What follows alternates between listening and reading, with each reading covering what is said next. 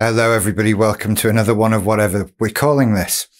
Um, I promise you, first of all, there will be some gaming content soon. I'm really doing that. I know there's been a big stint of mental health stuff lately, but just bear with me on that one. Um, with that in mind, let's have some fun and talk about suicide and self harm. Yay. Okay. So, as always, with any of these issues, if you are affected by this, please seek somebody with better medical experience and knowledge than me who has none. Um, when we're talking about such a sensitive and delicate thing, everybody's experience of this is going to be very different. Uh, so I can only really speak for my own experiences, but I sort of feel that sharing that is probably going to be helpful in some way. So I've talked about how I had, well, thought I had depression for a very long time, which turned out to be borderline personality disorder, etc. Along with that came a feeling of suicidal ideation, wanting to be dead. And that was, see, it's difficult to talk about these things because I wanted to say it's difficult to live with that. And it is. It might give you some faith to know that I'm sort of on the out of this. I am in no way suicidal whatsoever. I am very, very pleased that I was never suicidal enough to manage to seriously hurt myself in any way. And so I'm now in a position where I sort of laugh about it. So if you catch me smiling or laughing, I'm not, it's at me, right? It, it's, it's about my own experience and how it all seems just such a long way away now and, and so utterly crazy. So for the longest time, I felt suicidal. And that led to a number of incidents, especially over the last few years. Um, it would be unfair of me to say I ever attempted suicide, but I've been brought home by the police on more than one occasion. There's your sort of middle ground. And there are lots of, of incidents I could go into detail with, but it, I don't know that that would help anybody. So what I came to realize and I think fairly early on, no, sorry, fairly recently, uh, something I came to realize. I didn't really want to die. It didn't actually make sense that I wanted to die. You see, I knew what I was upset about. I knew what was wrong in my life that was bothering me. I knew how I felt constantly depressed, constantly sad, constantly. I've often described it to people as like having a blanket of sadness wrapped around you, which sounds such tragic thing when I say it out loud again. And when I realized rather than wanting to be dead, I wanted that feeling of sadness to stop. And killing myself was the only way I could think of at that point to make that pain stop. It wasn't that I didn't want to go on living in this world anymore. It was that I just didn't want to be in pain anymore. So as soon as I stopped being in pain, the feeling of wanting to kill myself just went away. I'm so conscious of every time I say the, the phrase kill myself and YouTube algorithms picking on me or whatever. But, you know, I didn't want to be dead. Otherwise, why would, why would I be upset about anything? Why, why, why be depressed?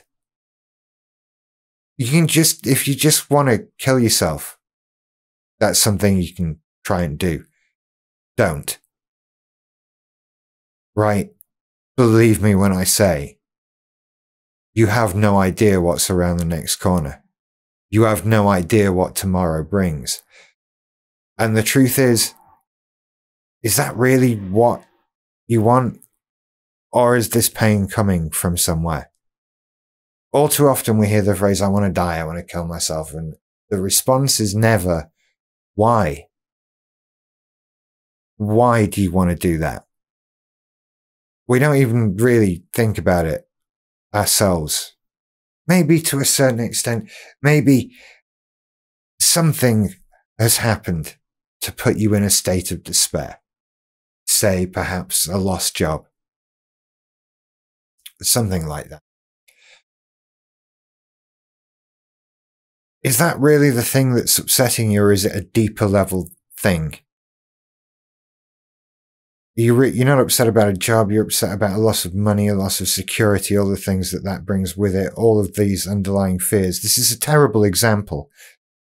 I'm just trying to give you an example of something where you might think you've got a hold of it,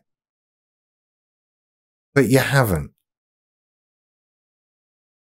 And you know you haven't because you still feel bad. And if you still feel bad, things aren't right, are they? There's still something that needs to be sorted out. The answer to making that stop is to figure out what it is and do something about it. That doesn't mean that's an easy thing to do. That it's all well and good me sitting here in my chair saying, well, do something about it, right? That's easier said than done. But what is important, what you should take away is that, again, it's a temporary thing. You don't have to feel like this. And the way to stop feeling like it is to figure out why. All of these things, all of these problems, these markers, these criteria that we suffer through with BPD really, I have found that the answer to dealing with all of the ones that I've dealt with has been to ask why. Why do I feel like that? Why am I doing this? Why am I thinking that? And getting to the root cause, the very bottom of everything. And then doing something about that. Like weeding, that would have been a better example. There you go. There were some dark times. I've met the Bradford crisis team on a number of occasions. Ideally, the best number is never. But those dark times have, have gone away. And they're the ones that I fear coming back the least. Because really just takes asking why and getting to the root cause of that problem. Because the solution is never to do something drastic to yourself. Right? And this is before we get into the technicalities of this is not an easy thing to do. You don't want to try to do this. This is not. I look.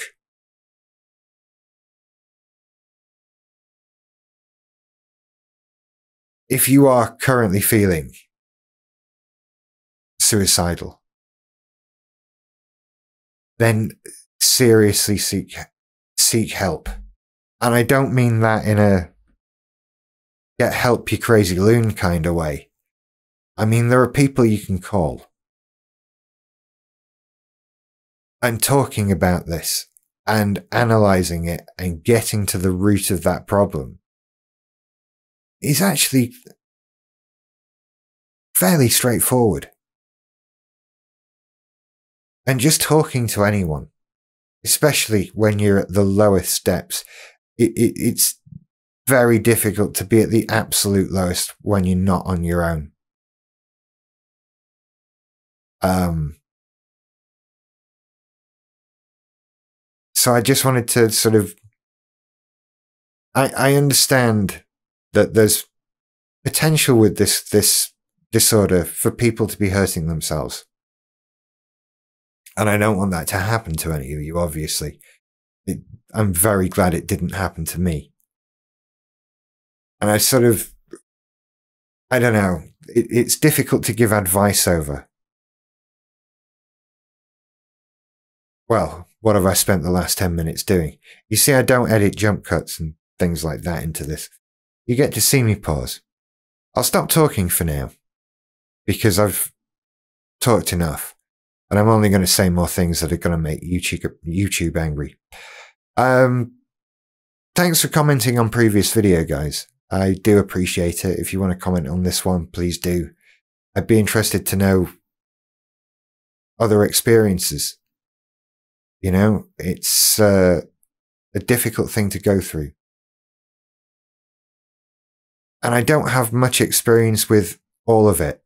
I mean, we talked about the suicide side of it. The the marker is suicidal ideation and self harm. I've never self harmed.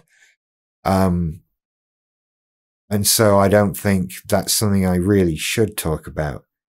I only know about that what anybody would know about that. The the other thing is something I've personally gone through a lot, and I hope that I hope that none of you are going through it. And if you are going through it, believe me,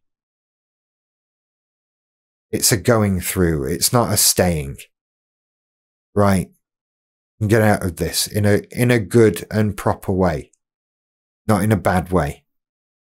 Okay? It's all very serious, isn't it? Well, it's a serious thing. Shut up, Rage. Anyway, you all take care, and I'll see you on another video. Bye bye.